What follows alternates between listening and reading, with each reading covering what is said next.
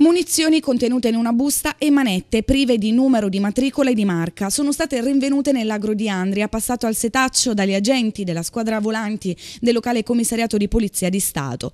La scoperta risale a tre giorni fa a seguito di un'attività investigativa compiuta nella periferia della città, nello specifico in via Spallanzani, contrada Capabianca, a ridosso di un canale per il deflusso delle acque fognarie. Gli agenti, coordinati dal commissario capo Fabrizio Gargiuolo, hanno trovato nascosta sotto un cumulo cumulo di sassi coperto da una tavola in legno, una busta in celofan contenente cartucce di diverso calibro, otto portacartucce in metallo, di cui sette contenenti 10 cartucce ed uno contenente altre cartucce per un totale di 79 cartucce calibro 7,62. Munizionamento per fucile mitragliatore tipo Kalashnikov.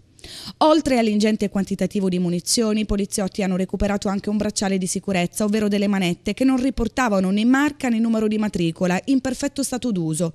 Tutto il materiale è stato sottoposto a sequestro penale e soggetto ad accertamenti tecnici. Ulteriori indagini sono in corso per individuare chi deteneva il materiale.